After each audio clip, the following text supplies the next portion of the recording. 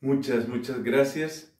Desde aquí el saludo a los que yo puedo llamar mis colegas, porque tal vez lo que más he realizado en la vida religiosa es precisamente la docencia en distintas formas.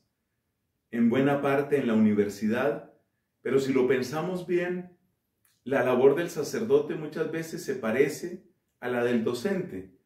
Una buena homilía debe dejar una enseñanza, una buena consejería debe dejar una enseñanza y así sucesivamente. Perdón. De manera que le doy gracias a Dios por este encuentro. ¿Qué vamos a compartir el día de hoy? Si nosotros miramos, la labor del docente tiene abundancia y tiene escasez las dos cosas. Por ejemplo, hoy vivimos una abundancia, casi una sobreabundancia de información. Cualquier tema que tomemos, estamos desbordados de información. Basta mencionar Wikipedia, que no es ni lo único ni lo último, pero por dar una idea del océano de información que tenemos.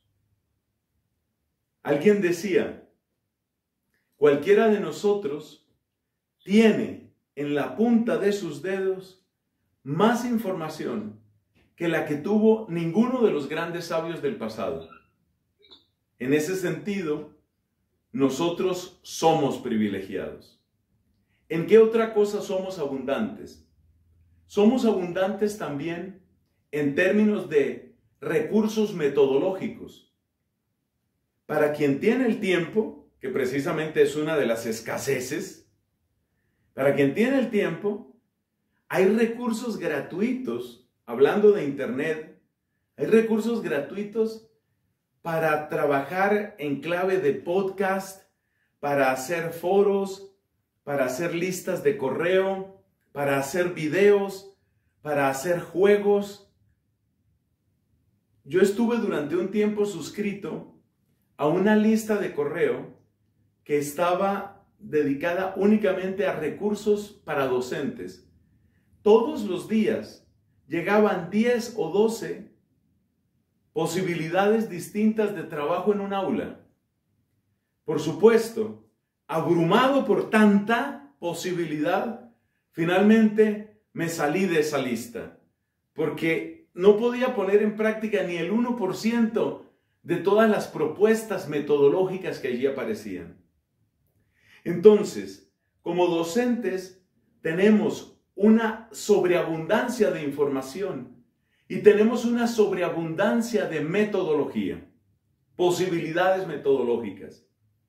Pero en cambio hay otras cosas en las que a veces nos sentimos escasos. Por ejemplo, nos sentimos escasos en términos de tiempo muchas cosas que quisiéramos hacer no alcanzamos. Además, hay un tema muy interesante como para una mesa redonda, como para una discusión. Hay un tema muy interesante y es cuánto se va en planeación y cuánto se va en aquello de llevar un registro de lo que hiciste. Muchas veces sirve como una especie de mecanismo de control por parte de las instituciones o de otras instancias. Y uno se pone a pensar que si uno tuviera, habrá quien lo haga, ¿no?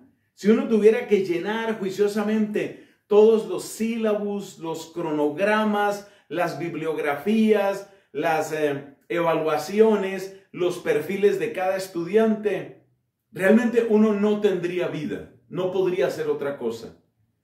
Y debo decir que en el caso de este servidor, mis grupos suelen ser más bien pequeños. Yo estoy en el área de la filosofía y la teología y los grupos son más bien pequeños. Pero pensemos lo que vive un profesor de secundaria al cual se le pide que haga una planeación exhaustiva casi al minuto de lo que va a presentar en la clase y luego un reporte de lo que hizo en la clase y luego un reporte de cada estudiante y en qué subió y en qué bajó en su desempeño. Esa es una discusión interesante.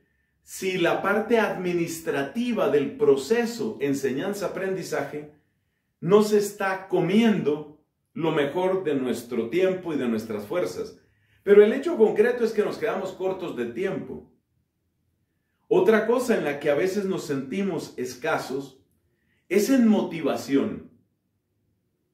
La labor del docente es una labor que implica muchos sacrificios, implica muchas renuncias.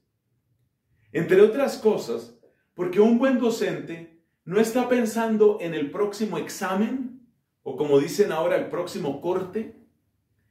El buen docente está pensando en sembrar para la vida de esos estudiantes.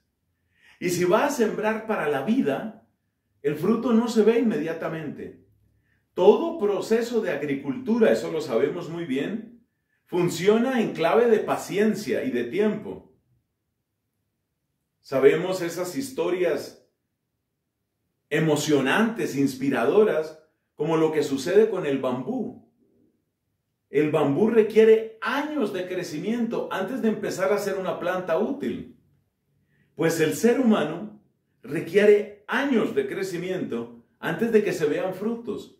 Lo que tú estás enseñando en clave de civismo o en clave de amor a la ciencia o en clave eh, de lengua española o de otros idiomas, dará su fruto muchas veces pasados muchos años. Y por eso, un docente tiene varias veces la experiencia de entregar, sembrar y no ver muy pronto ese fruto. Habrá ocasiones en que no lo verá. Habrá ocasiones en que, poniéndome un poco dramático, sobre su tumba dirán, oh, qué buen docente fue, qué buena pues esa profesora, maravillosa persona, ah, que, y cuánta paciencia nos tuvo. Y ya el otro reposando en la tumba, o la otra. Entonces, hermanos, a veces la motivación se nos acaba.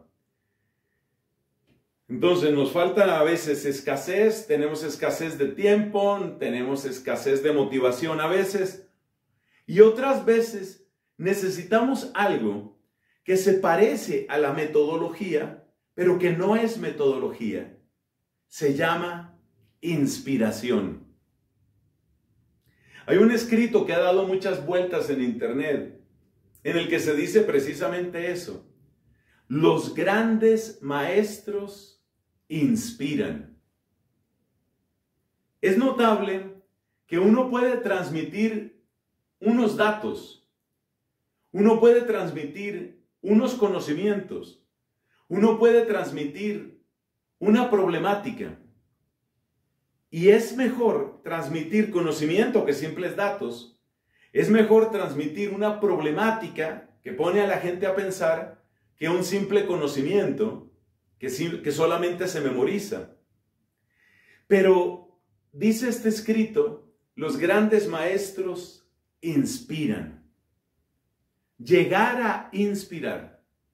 Y a veces nosotros mismos, que por vocación estamos llamados a inspirar a otros, nos sentimos cortos de inspiración también. Y en ese punto es donde me voy a centrar para los minutos que siguen en lo que significa inspiración y en lo que significa ser inspirados y poder inspirar a otros. Empecemos por la etimología. Inspirar significa literalmente poner un espíritu adentro, dar una fuerza espiritual adentro, inspirare, dar una fuerza adentro. Y esa fuerza, ese espíritu adentro, ¿qué significa? Tratemos de precisarlo un poco más. Mientras estoy hablando, trate usted de recordar alguna persona, quizás de su propio campo de conocimiento, quizás de otro campo, una persona que usted diga es una inspiración. La inspiración, nos damos cuenta inmediatamente, tiene una clave de novedad. La persona que repite siempre lo mismo la persona que está anclada o esclavizada a la rutina, indudablemente no es una inspiración. Tiene que haber una novedad. Pero lo maravilloso de una verdadera inspiración no es simplemente que me da un conocimiento nuevo, es que me da una nueva manera de ver las cosas y me da una manera nueva de preguntar, de modo que yo mismo siento que ha empezado una etapa, una realidad nueva en mí. La inspiración tiene mucho que ver con la novedad, pero repito, no con cualquier novedad, sino más bien con esta que estoy nombrando. Es decir, es el que me hace ver de una manera nueva, me da una mirada nueva, me da unas preguntas nuevas que yo no me había hecho y me da también, por eso mismo, la oportunidad de ser yo una persona distinta. Por supuesto, llegar a este nivel, al nivel de inspirar en los otros el deseo de ser mejores personas, personas diferentes, yo creo que ese es el posgrado del posgrado en la docencia. Ese es un gran éxito. Y hay personas así. Hay personas que nos hablan y nos dan las tres cosas, las tres novedades, las quiero subrayar. Nos dan una mirada nueva. Yo no había enfocado jamás las cosas de ese modo nos dan preguntas nuevas, nunca se me había ocurrido ese problema, y porque nos dan una mirada nueva y nos dan preguntas nuevas, nos invitan a ser otras personas, a ser nuevas personas. Ahí está, por lo menos en una de muchas versiones, ahí está la clave de la inspiración. Entonces, un docente que inspira es una persona que te da un ángulo diferente para ver las cosas, que te muestra preguntas que no se te habían ocurrido, pero que resultan tremendamente relevantes y que además te invita a que tengas un cambio tú, a que tú mismo tomes una actitud diferente. Es ahí donde aparece el verdadero maestro que inspira. Por supuesto, la persona que tiene este don tiene una combinación de dones naturales y adquiridos. Tiene una combinación de una vocación, es algo que le sale de dentro, y también una preparación, una formación. Pero el resultado de todo ello es absolutamente fascinante. Como mi preparación antes de entrar en la comunidad tuvo que ver sobre todo con el campo de la ciencia, yo quiero mencionar un par de personajes bastante conocidos en el mundo de la ciencia, por lo menos en el mundo de la física, personajes que tenían esa capacidad de inspirar. en la física se recuerda mucho, se recuerda mucho a un premio Nobel norteamericano, un hombre llamado Richard Feynman. Richard Feynman. Es el ejemplo de un maestro que inspira.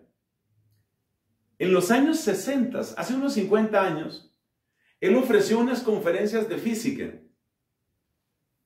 Todavía en nuestra época se siguen presentando algunos videos, los pocos que hay, y sobre todo la transcripción de esas conferencias absolutamente magistrales. ¿Qué era la novedad que tenía este hombre? Pues que él llevaba los problemas a una perspectiva completamente diferente, completamente distinta. Por ejemplo, empezar a derivar toda la teoría de la relatividad especial de Albert Einstein a partir de un problema de observadores que se mueven y de la necesidad de una velocidad única, límite en el universo. Y a partir de ahí, deducir las ecuaciones hasta llegar a energía igual a masa por velocidad de la luz al cuadrado. ese enfoque absolutamente novedoso hizo que muchas personas sintieran realmente ganas de decir, oiga, yo quiero ser como Él. Yo quisiera ser como Él. ¿Qué tiene esa palabra? Es solamente un ejemplo. Otro ejemplo distinto, ya de mi época de docente y de mi época de religioso, está indudablemente en un hombre como Tomás de Aquino. Santo Tomás de Aquino fue un hombre que abordó muchísimos temas y muchísimos problemas de una manera novedosa.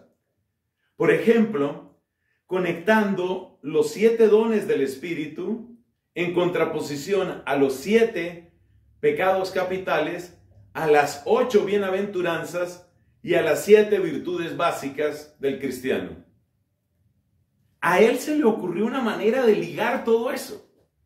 En la obra, en la obra cumbre de Santo Tomás, en la Suma Teológica, en la segunda parte de la segunda parte de la Suma Teológica, está este desarrollo. Las siete virtudes fundamentales del cristiano, cuatro humanas y tres teologales, las bienaventuranzas, los dones del Espíritu Santo, los pecados capitales, todo eso aparece enlazado de una manera que no se le había ocurrido a nadie. Tomás de Aquino, generación tras generación, sigue inspirando a distintos maestros. Modestamente digo, es una inspiración para mí. Bueno, si tenemos, a ver, ¿qué tenemos hasta ahora? ¿Qué es lo que hemos dicho hasta ahora? Hemos dicho que en nuestra época, nosotros los docentes, tenemos por una parte abundancia y por otra parte escasez. ¿Abundancia de qué? Abundancia de información y abundancia de metodologías. ¿Escasez de qué? Escasez de tiempo, a veces escasez de motivación y a veces escasez de inspiración que se parece mucho a motivación, a metodología y a otras cosas. Luego hemos tratado de dar una definición de inspiración como aquello que realiza una persona cuando nos enseña a mirar la realidad desde un ángulo diferente, con preguntas que no se nos habían ocurrido, pero que son absolutamente pertinentes, y que llega al punto de producir en nosotros el deseo de un cambio en nosotros. Cerremos esta breve exposición recordando al maestro de maestros, que por algo se le llama también el divino maestro. Recordemos a Santo Tomás de Aquino, ya lo, ya lo hemos recordado a Santo Tomás de Aquino, pero me voy a referir al maestro de Tomás y de todos, es decir, a nuestro Señor Jesucristo. A Jesucristo lo llamaban maestro, rabí, maestro. Pensemos, ¿qué podemos aprender de este maestro? Las lecciones serían muchas. En este caso, lo que les deseo compartir como inspiración que puede servir para ustedes y que a mí me ha servido, son cuatro puntos de inspiración de este maravilloso maestro llamado Jesús de Nazaret, Jesucristo. Cuatro puntos que muestran al mismo tiempo la novedad de, la enseñanza de Cristo y el impacto que tuvo en sus seguidores y sigue teniendo en nosotros. Primero, el uso constante de la narración. Hoy a eso se le da un nombre sofisticado tomado del inglés. Storytelling. Contar historias. Jesucristo es un experto narrador. Las narraciones de Cristo fueron tan eficaces que sin él escribir un solo libro, Millones y millones de libros repiten las palabras que él dijo una determinada mañana o una determinada tarde. La capacidad de narrar, la capacidad de contar una historia, esto es absolutamente brillante. ¿Por qué es tan brillante? Porque el cerebro humano está particularmente adecuado para recibir información en clave de narración. Efectivamente, cualquier pensamiento que nosotros tenemos, lo inscribimos siempre dentro de un relato. No podemos hablar de nosotros mismos sin referirnos al tiempo en el que vivimos, a las cosas que nos han pasado, a las expectativas que tenemos. ¿Y qué es todo eso? Tiempo, sucesión de eventos, narración. Se puede decir, con un poquito de metáfora, que cada uno de nosotros es un relato, cada uno de nosotros es una palabra. La Biblia dice de Cristo que en el principio existía la palabra y la palabra se hizo carne y habitó entre nosotros. Cristo es palabra, pero guardadas las proporciones, cada uno de nosotros es una historia, es un relato. De modo que no podemos pensarnos a nosotros mismos, sino como relato. Y no podemos pensar a las personas que amamos, sino como un relato. No tenemos otra manera de pensar a los demás. Por eso digo, nuestro cerebro está particularmente adecuado, proporcionado a lo narrativo. Y Cristo es un maravilloso contador de historias, un maravilloso storyteller. Ese es Cristo y eso tiene un impacto muy, pero muy grande. Entonces, primer elemento inspirador, relatos. Segundo elemento, uso inteligente de los contrastes y las paradojas. Cristo utiliza de una manera tan inteligente, tan bella, tan memorable las contradicciones. Sucede esto, nuestro nuestro cerebro, sigamos hablando del cerebro humano, nuestro cerebro detecta fundamentalmente lo que es distinto, lo que es diferente. Si por ejemplo vas a entrar a una universidad que tiene una inmensa pared a su entrada, y un día vas a entrar y te encuentras que en esa pared han puesto un letrero, lo que llaman un graffiti,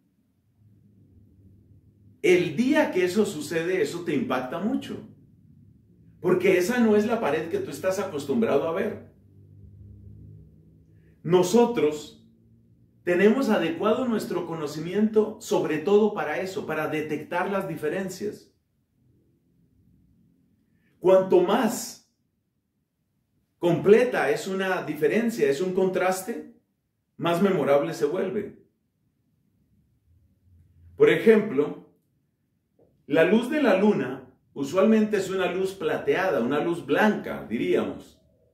Pero dentro de ciertas circunstancias, la luna adquiere un color rojizo a ciertas horas desde ciertos ángulos.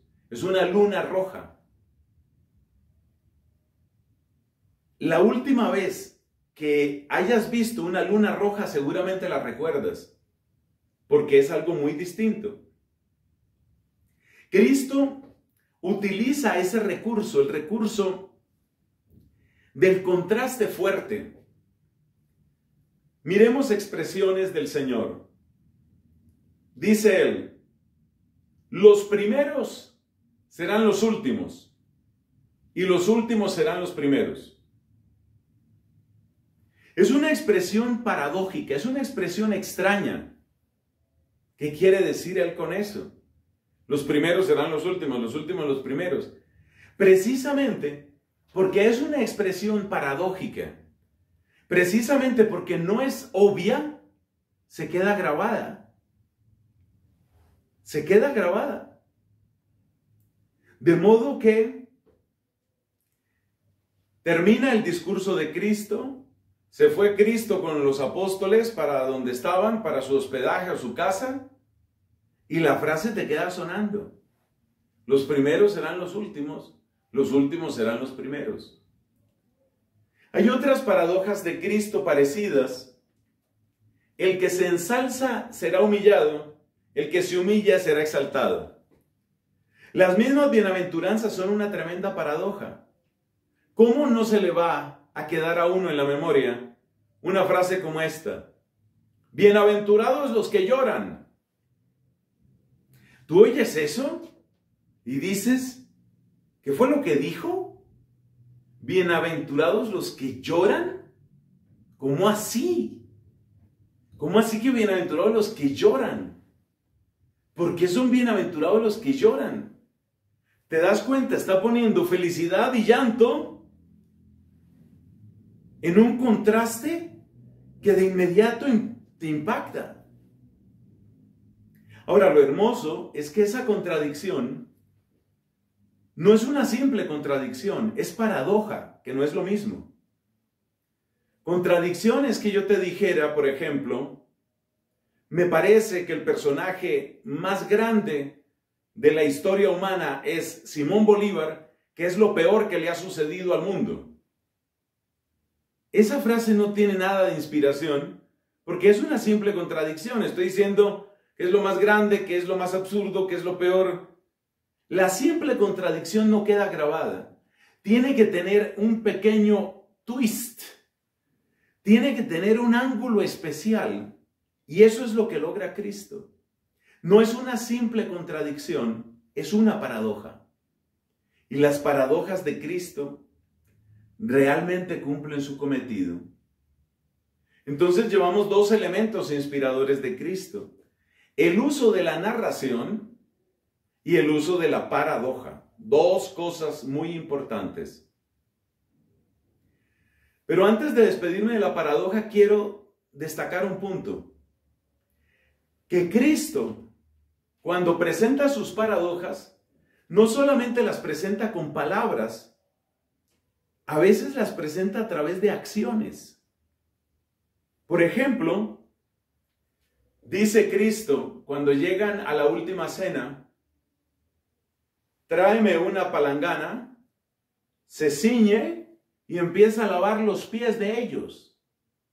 Él es el más grande. Él es el que hace los milagros. Él es el que cautiva a las multitudes. Él es el que ha hecho callar a sus oponentes. Él es el que expulsa a los demonios. Él es el maestro de todos y ahí les está lavando los pies. Esa también es paradoja el más grande está ahí a mis pies. Dime cómo se le va a olvidar a uno eso. Ver a mi maestro, el que me conoce, el que me ganó para Dios, verlo ahí, ahí, lavándome los pies. Eso impresiona, eso también está dentro de la tónica de la paradoja.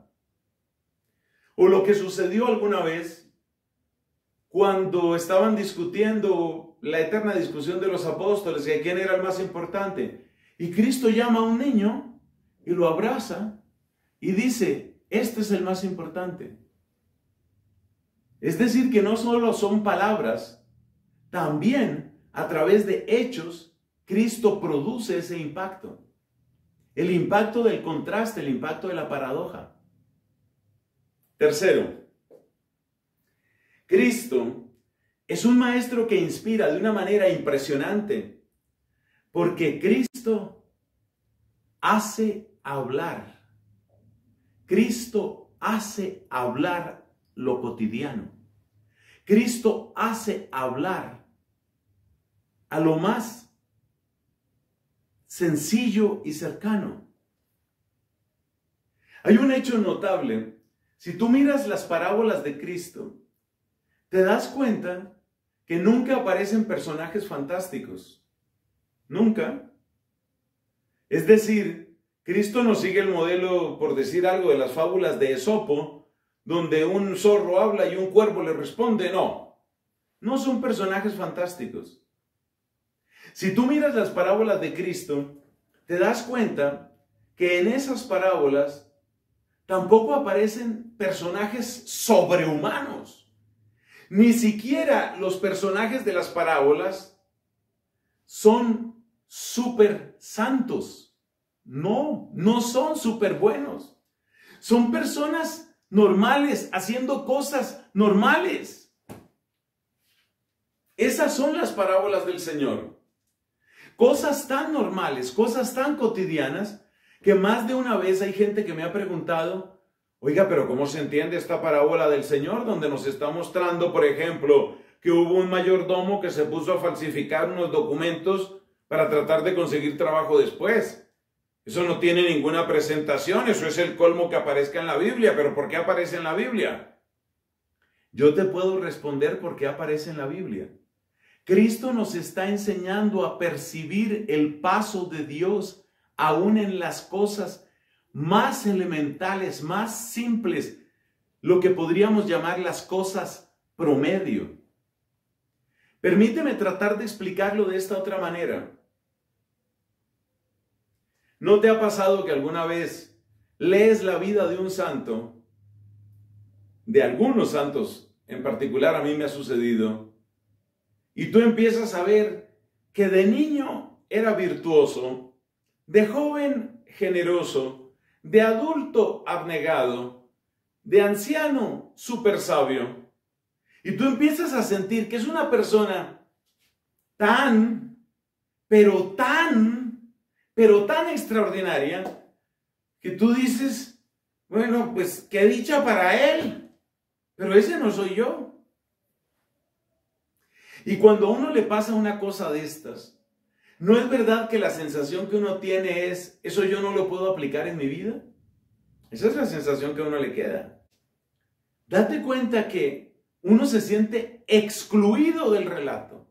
Uno se siente excluido de la enseñanza. Es como si un profesor, teniendo enfrente su salón de clase, de repente dijera, bueno, esta clase se la voy a dar únicamente a los súper inteligentes del salón. Y los demás, de inmediato que sienten, vámonos de aquí, aquí no hay nada que hacer. Cristo pone a hablar y a hablar del reino de Dios y hablar de la presencia de Dios a las cosas más sencillas. Había una señora que tenía una moneda muy valiosa. Se le perdió la moneda. Y la señora se puso a barrer y a barrer. Y revisó toda la casa. Y de repente encontró la moneda. Y cuando ella encontró su moneda, no pudiendo contener la alegría, se fue donde las vecinas a contarles. Recuperé la moneda. Esa es la historia que nos cuenta Cristo. Esa historia le podría pasar a cualquier señora o a cualquier señor, para el caso. A cualquier persona le podría pasar. Esas son las parábolas de Cristo. Es la habilidad de poner a hablar lo cotidiano lo cotidiano. Es la habilidad de mostrar que un conocimiento nuevo en el fondo está tan cerca de ti que si abres un poquito más los ojos ya te hubieras dado cuenta que ahí estaba. Por algo Jesús les decía tantas veces, el que tenga oídos para oír que oiga. Y en otra ocasión, refiriéndose a la mayor parte de la multitud, dice, tienen ojos, pero no ven. Las parábolas de Cristo son una manera maravillosa, un modo maravilloso que Él tiene para hacer hablar las cosas. Por eso hay que saber entender las parábolas, porque las parábolas no son simples relatos edificantes, no es como leer la vida de un santo. Las parábolas del Evangelio no son como leer vidas de santos. En las vidas de los santos con mucha frecuencia lo que uno se encuentra es que era muy bueno y luego mejoró, luego se volvió perfecto, creció otro poco y en flor de santidad murió. Y uno dice, bueno, para él, felicitaciones, pero ese no soy yo.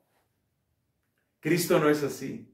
Cristo habla de una manera que hace que uno sienta, eso me podría pasar a mí. Y sobre todo, Cristo habla de una manera que hace que uno sienta, el reino de Dios está muy cerca, tiene que estar aquí, muy, muy cerca de mí. hace hablar lo cotidiano. Llevamos tres características y vamos para la cuarta y última, porque no queremos excedernos en el tiempo. La primera era muchas narraciones. La segunda era uso inteligente de las parábolas, de las paradojas, perdón. El punto tercero es hacer hablar lo cotidiano. Y el punto cuarto, que lo he dejado de último a propósito, es Cristo inspira porque su discurso y su vida son congruentes. Él es de aquellos que predica y aplica. Se ve, se ve. Se ve en su vida. Su vida es el libro de ejercicios de la teoría que dijo con su palabra. Si su palabra era la teoría, su vida es la práctica. Y esto es inolvidable. Por contraste, recuerdo la historia que me contaba una amiga, ya ella tiene algunos años, la historia que me contaba de cómo en su infancia o en su adolescencia ella tuvo una profesora de religión. Era buena profesora, digamos, no la última maravilla, pero era buena profesora y daba los contenidos, la religión, los mandamientos, los sacramentos. Esta mujer dejó la docencia y entró al mundo financiero. Y después un día, mi querida amiga encuentra en las noticias que está en la cárcel la que fue su profesora de religión, por allá por no sé qué delitos. Eso por supuesto decepciona profundamente y es la razón principal por la que la gente se decepciona de grupos de oración, se decepciona de sacerdotes, se decepciona de movimientos eclesiales. Porque, como decía San Agustín, no es solo nuestra voz, es nuestra vida la que tiene que cantar la obra divina. Bueno, hemos terminado esta sencilla reflexión, hermanos. Hemos hablado de inspiración y hemos hablado del Maestro de Maestros, Jesucristo, que nos inspira. Y hemos hablado de las cuatro grandes inspiraciones que, bueno, cuatro de las grandes, seguramente habrá otras, que nos producen un gran impacto la manera como él utiliza la narración, la manera como él utiliza las paradojas que quedan grabadas en la memoria, la manera como él hace hablar las cosas más sencillas y la manera como él practica y vive lo mismo que enseña. Es impresionante nuestro Señor Jesucristo. A Él sea el honor, a Él sea la gloria. Y ahora, hermanos, quiero invitarlos a que cerremos este pequeño momento también haciendo una oración. Y nuestra oración, muy simple, muy sencilla, en realidad solo tiene dos pasos. Primero, pedirle a Dios que nosotros nos dejemos enseñar. Y segundo, pedirle a Dios que nosotros seamos buenos instrumentos para transmitir a otros, no simplemente conocimientos, sino verdadera inspiración. Así que les invito a que nos unamos en esa plegaria. Recoge tu corazón. Qué bueno que seguramente tomaste algunos apuntes. Te felicito. Pero podemos en este momento cerrar nuestra libreta o tableta o computador y fijemos solamente nuestra mirada en Jesús.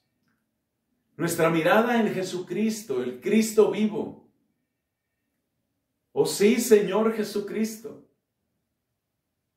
Surge sola, sola, una sonrisa en mis labios con pronunciar tu nombre. Porque has marcado todo. Has marcado todo en mi vida. Porque no hay inspiración como la que tú me das. Yo te alabo, yo te bendigo, yo te doy la gloria, Jesús. Porque tú me has enseñado. Porque tú todos los días me enseñas. Porque no solamente enseñas cómo vivir, sino que enseñas cuando hay que padecer, cómo padecer. Y si hay que disfrutar, cómo disfrutar. Y estoy seguro, y así lo espero, que el día que yo tenga que salir de esta tierra, tú me enseñarás también cómo se sale de la tierra. Tú me enseñarás cómo se muere, Señor. Yo necesito que tú me enseñes. Y por eso te doy gracias y te doy gloria y te doy alabanza, Señor. Y solo te pido que con la gracia de tu divino Espíritu, yo me deje enseñar, Señor. Que yo no sea obstinado ni resistente. Que yo no me aparte ni me aleje de ti, sino que pueda permanecer, Señor, como verdadero discípulo tuyo. Por eso, antes de pensar en ser maestro, te pido, dame la gracia de ser discípulo. Dame la gracia de ser de aquellos que aprenden de ti. No solo los pequeños, pequeñitos elementos que hemos mencionado hoy, Jesús. Enséñame tú. Enséñame con tu humildad, con tu silencio. Enséñame con tu mansedumbre, con tu pureza. Enséñame con tu caridad, con tu fortaleza. Enséñame con tu prudencia y con tu valor. Enséñame, Jesús. Que yo sea tu discípulo que yo reciba en mi corazón todo lo que tú quieres enseñarme. Que no tengas que decirme lo que dijiste a los apóstoles en la última cena. Más quisiera decirles, pero ustedes ya no pueden con más. Yo quiero tener siempre hambre de ti. Y quiero recibir de ti lo que tú quieres darme porque tú eres mi Señor. Porque tú eres el amor de mi alma. Porque tú eres mi modelo, mi maestro. Tú eres mi guía. Transfórmame. Transfórmame de tal manera, Señor, que puedas tú vivir en mí, realizar en mí tu misterio y a través de mí atraer otros corazones a las luces de la verdad, de la libertad y de la auténtica paz. Que yo pueda entonces ser verdadero instrumento tuyo, Jesús. Que tú puedas contar conmigo que ya sea en un salón de clase o donde tú me lleves, tú puedas decir, con él yo cuento, con ella yo cuento. Que tú puedas decir, yo cuento con él. Que tú sientas que yo soy un aliado tuyo, un enviado tuyo. San Pablo dijo, es Dios el que los está exhortando a través de nosotros. Somos los embajadores de Jesucristo. ¡Qué palabras! Que yo pueda, Señor, hacer mías esas palabras, pero no porque yo lo diga, sino porque así lo vivo. Te alabo, te glorifico, Jesús, te doy gracias, Jesús. Te bendigo por este encuentro, por este momento, por este grupo de oración. Por todos a quienes han llegado y a quienes puedan llegar estas palabras. Y ahora, una última misericordia te imploro Dame la gracia de bendecir a estos queridos hermanos. Ellos te necesitan a ti, no a mí. Permite Jesús que venga sobre ellos la bendición que están esperando y que sea grande Jesús. El Señor esté con ustedes. La bendición de Dios, Padre, Hijo y Espíritu Santo, descienda sobre ustedes y los acompañe siempre. Mis hermanos, estuvo con ustedes Fray Nelson Medina. Que Dios los bendiga y muchas, muchas gracias por este momento y por esta invitación.